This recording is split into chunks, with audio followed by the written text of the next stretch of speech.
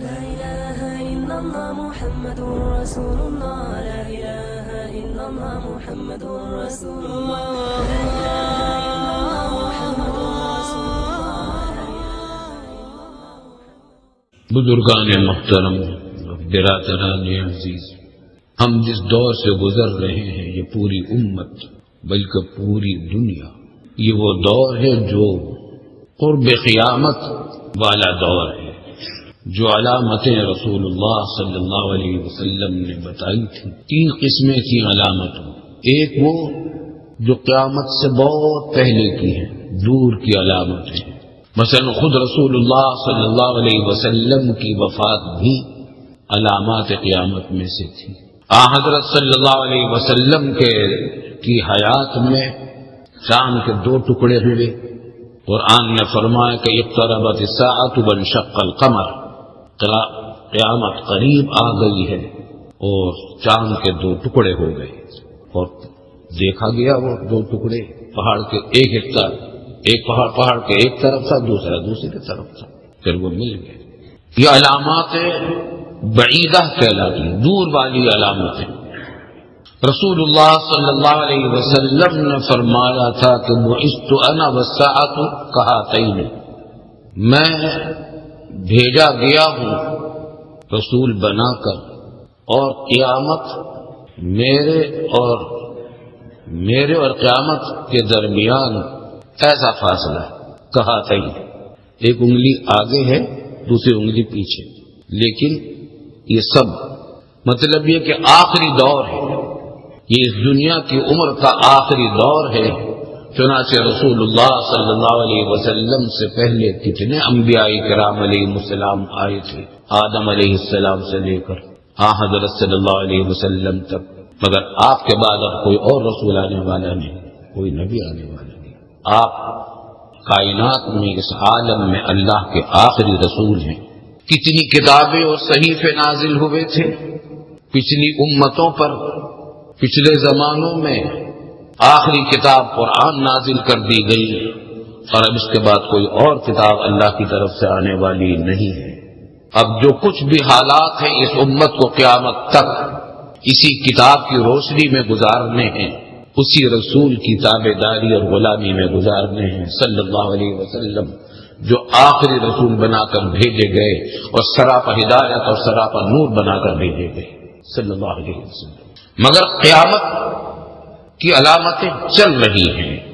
دوسری قسم علامتوں کی فتنہ تاثار جو آیا، جس نے پورے عالمی اسلام کو زیر و زبر کر ڈالا تھا۔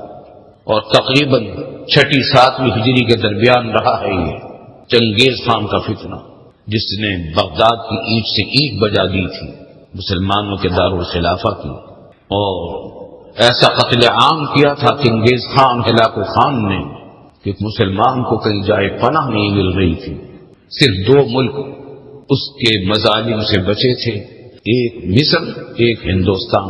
یہاں سلطان شمس الدین التمش اللہ والے کی حکومت تھی اور وہاں بھی ایک مرد مومن کی حکومت تھی۔ باقی سارا عالم اسلام زیر و زبر کر ڈالا تھا۔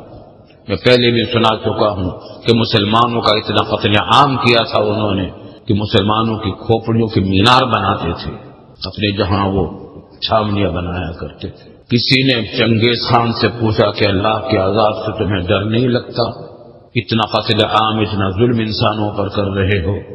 تو اس نے کہا کہ میں خود اللہ کا عذاب ہوں، جو تم پر مسلط کر کے بھیجا گیا۔ ہوں قرآن نے بھی یہی بات کہی تھی۔ وہ کدال کنولی باغ ظالمین باغا ہم اسی طریقے سے بعض ظالموں پر دوسرے ظالموں کو مسلط کیا کرتے ہیں۔ کچھ ظالموں کو سزائیں دلواتے دوسرے ظالموں سے۔ اور پھر ان ظالموں کو کسی اور طریقے سے سزا دی جاتی ہے۔ تو یہ علامات بعید کی تھی۔ پھر ہلاک جس سے تم سوال کر رہے ہو، وہ تم سے زیادہ جاننے والا نہیں ہے اس معاملے کو۔ یعنی مجھے بھی نہیں معلوم۔ عیسیٰ علیہ السلام نے جبریل سے پوچھا تھا کہ قیامت کب آئے گی؟ تو جبریل نے بھی یہی کہا تھا کہ مل مسئول بعالم من السائل، جس سے سوال کیا گیا، وہ سوال کرنے والے سے زیادہ نہیں جانتا۔ یہ ایک راز ہے کہ وہ قیامت کب آئے گی؟ متعین، وقت۔ کتنے سال، کتنے گھنٹوں بعد آنے والی ہے۔ لیکن علامتیں بہت بتائی ہیں۔ اور یہ علامتیں ہمارے لیے عبرت کا سامان ہے قیامت دم بدم قریب آ رہی ہے۔ مثلاً علامتیں جو درمیانی دور کے آنے والی تھی اس میں یہ ہے کہ قتل غارت گری پھیل جائے گی۔ شراب کا پینا بہت عام ہو جائے گا اور زنا کھلم کھلا ہونے لگے گا۔ اور لوگ اس طریقے سے قتل کیے جائیں گے کہ نہ قتل کرنے والے کو معلوم ہوگا کہ اس نے کیوں قتل کیا اور نہ جس کو قتل کیا گیا اس کو معلوم ہوگا کہ مجھے کیوں قتل کیا گیا۔ قتل کی کثرت ہوگی۔ ظلم کا دور دورہ ہوگا۔ مسلمانوں میں پھوٹ پڑی ہوئی ہوگی۔ پھوٹ انتہائی عروج، انتہائی درجے کو پہنچی ہوئی ہوگی۔ پھوٹ۔ ٹکڑے ٹکڑے ہو رہے ہوں گے مسلمان۔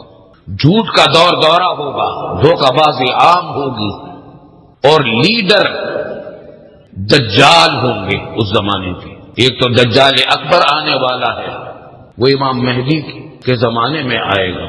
اس سے فرما کو اس سے پہلے کئی دجال آئیں گے، تقریباً تیس کی تعداد یاد پڑتی ہے، بیس یا تیس تعداد بتلائیے دجالوں کی کہ وہ دجال آئیں گے۔ اور فرمایا کہ وہ کیسے دجال ہوں گے، کیسے ہوں گے؟ وہ الامت المزلون گمراہ کرنے والے لیڈر۔ گمراہ کریں گے، ڈرامہ بازیاں کریں گے، دھوکہ بازیاں کریں گے، قسمیں کھائیں گے، جھوٹے جھوٹے دعوے کریں گے۔ لیڈروں کی لوگوں کی لیڈری لوگوں کو لیڈر، لوگوں کی لیڈری کریں گے۔ مگر حق کے لیے نہیں، اپنی ذات کے لیے یا کسی باطل کے فروغ کے لیے، یا ظلم و ستم کو مزید بڑھانے کے لیے۔ بہت ساری علامتیں بتائی تھی ایک علامت کی ارشاد فرمائی تھی کہ اس زمانے تو فتنے آئیں گے اتنی کثرت سے کہ تموج کا موج البحر، کہ جس طرح سمندر کی لہریں ہوتی ہیں، موجیں ہوتی ہیں، کہ ایک ختم نہیں ہوتی، دوسری آ جاتی ہے، دوسری ختم نہیں ہوتی، تیسری آ جاتی ہے۔ اور کوئی ادھر سے آتی ہے کوئی ادھر سے آتی ہے۔ اس طریقے سے وہ موجیں ماریں گے فتنے۔ ادھر سے بھی فتنہ آئے گا ادھر سے بھی آئے گا سامنے سے بھی پیچھے سے بھی۔ بچنا مشکل ہو جائے گا ان فتنوں سے۔ ایک علامت یہ ارشاد فرمائی تھی کہ یقلل بعضها بعضا۔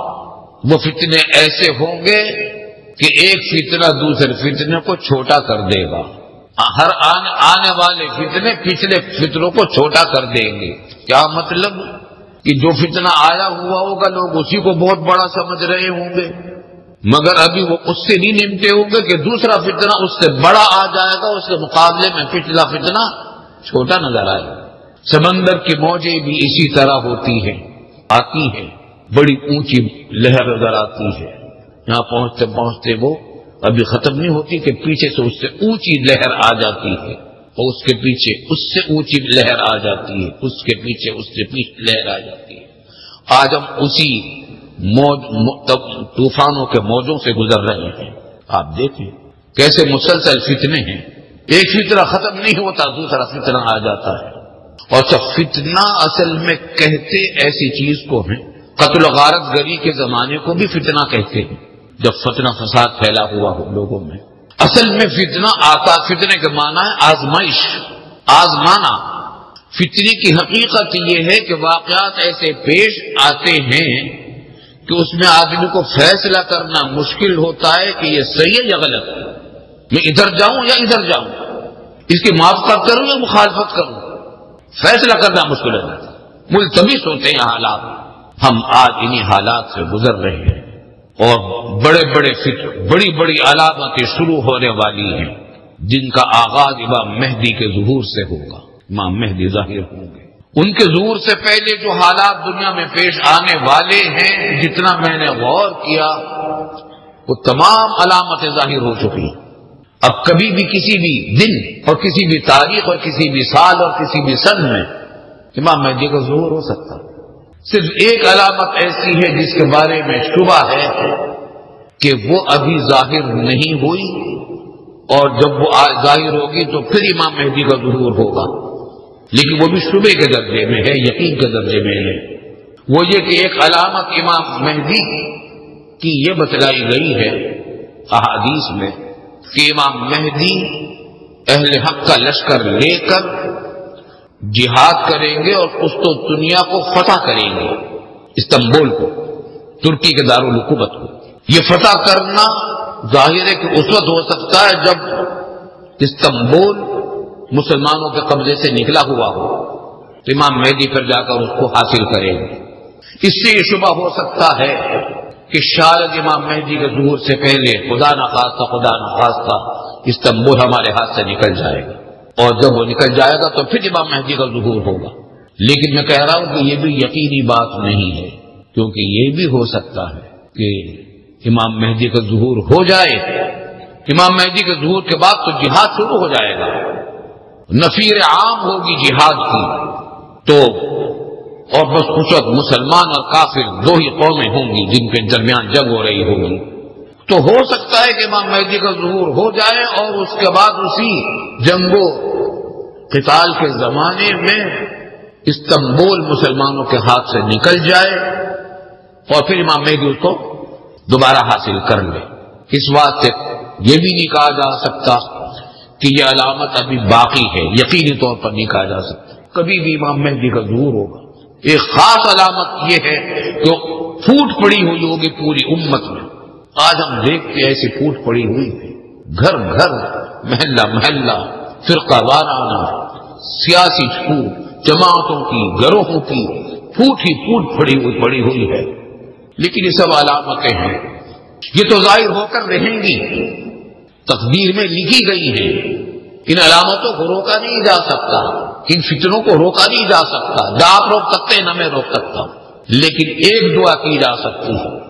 اور وہ یہ کہ اللہ ان فتنوں میں ہمیں شامل نہ کرنا ان فتنوں سے ہمیں بچا لے۔ فتنے ہوں گے۔ قتل و غارت گری ہوگی۔ اور اللہ کی راہ فرمانیاں انتہائی درجے میں ہوں گی۔ بے حجائی بھی پھیلی ہوئی ہوگی۔ ظلم و ستم بھی پھیلا ہوگا۔ قتل و غارت گری بھی پھیلی ہوگی۔ لیکن ہم یہ دعا کر سکتے کہ اللہ ان خرابیوں سے ہمیں بچا لیے چنانچہ رسول اللہ صلی اللہ علیہ وسلم نے یہ دعا سکھلائی۔ اللہم انا نعوذ بک من الفتن، ما ظہر منہا وما بطن۔ اے اللہ، ہم پناہ مانگتے ہیں فتنوں سے۔ کھلے ہوئے فتنوں سے بھی اور چھپے ہوئے فتنوں سے بھی۔ چھپے ہوئے فتنے دل میں ہوتے ہیں۔ کبھی کبر پیدا ہو جاتا ہے، کبھی حسد پیدا ہو جاتا ہے۔ بے وجہ کسی سے دشمنی دل میں پیدا ہو جاتی ہے، تکبر پیدا ہو جاتا ہے، وغیرہ وغیرہ۔ اور کبھی چھپے ہوئے فتنے گھروں میں ہوتے ہیں، میاں بیوی کے درمیان، بہن بھائیوں کے درمیان، اولاد کے درمیان رشتے داروں کے درمیان، پڑوسیوں کے درمیان۔ تو رسول اللہ صلی اللہ علیہ وسلم نے دعا ہمیں سکھلائی اور خود دعا مانگا کرتے تھے اللہ نعوذ بک من الفتن، ما ظہر منها وما بطن۔ اے اللہ، ہم پناہ مانگتے ہیں آپ سے، فتنوں، ہم آپ کی پناہ مانگتے ہیں فتنوں سے۔ کھلے ہوئے فتنوں سے بھی، چھپے ہوئے فتنوں سے بھی۔ جی دیکھیے یہ دعا نہیں کی حضور صلی اللہ علیہ وسلم نے کہ یا اللہ فتنے نہ بھیجیے گا۔ یہ دعا نہیں کی کہ فتنے نہ آئیں دنیا میں۔ کیوں نہیں کی؟ یہ تو فیصلہ ہو چکا ہے کہ آئیں گے۔ تقدیر میں فیصلہ ہو چکا۔ رسول اللہ صلی اللہ علیہ وسلم اس کی خبر دے چکے۔ قرآن حکیم نے بھی اس کو اس کو بتا دیا۔ ان فتنوں کو روکا نہیں جا سکتا۔ نہ اس کے لیے دعا مانگی گئی۔ دعا تو اس کی مانگی گئی کہ فتنے آئیں گے، لیکن یا اللہ ہمیں ان فتنوں سے ہمیں بچا دیجیے ہمیں بچا دیجیے ہمارے گھر والوں کو بچا دیجیے سنو اچھے آج کا پیغام میرے نزدیک سب سے بڑا یہی ہے۔ وقت بھی ختم ہو گیا ہے کہ یہ دعا کیجیے اہتمام سے کیجیے اللہ نعوذ بک من الفتن، ما ظہر منها وما بطن۔ اے اللہ، ہم کو کھلے ہوئے فتنوں سے بھی بچائیے، چھپے ہوئے فتنوں سے بھی بچائیے۔ ایک بات اور فتنوں سے بچیں گے کس طرح؟ قرآن نے بتایا کہ جو مصیبتیں آتی ہیں لوگوں پر، وہ انہی کی بدعمالیوں کی وجہ سے آتی ہیں۔ ظہر الفساد فی البر والبحر بما کسبت ایدی الناس۔ لوگوں کے کرتوتوں کی وجہ سے مصیبتیں آتی ہیں۔ تاکہ ان کے بدعمالیوں کی سزا کو چکھائی جائے ان کو، تاکہ پھر یہ توبہ کر لیں۔ مومنین کو جو مصیبتوں میں ڈالا جاتا ہے، ان کو تباہ کرنے کے لیے نہیں ڈالا جاتا، یاد رکھیے کافروں کے اوپر جو عذاب آئے پچھلی قوموں پر، ان کو ختم اور برباد تباہ کرنے کے لیے آئے تھے۔ اب ختم ہو گئی قوم سمود قوم آگ قوم قوم نو، قوم لوت قوم شعیب۔ قرآن نے ان کی داستانیں سنا دی۔ ان قوموں کو تباہ و برباد کرنے کے لیے آئے تھے عذاب۔ اس امت پر ایسا کوئی عذاب نہیں آئے گا۔ اللہ نے وعدہ کر دیا ہے رسول اکرم صلی اللہ علیہ وسلم سے قرآن میں وعدہ کیا ہے۔ اس امت کو ختم کرنے والا کوئی عذاب نہیں آئے گا۔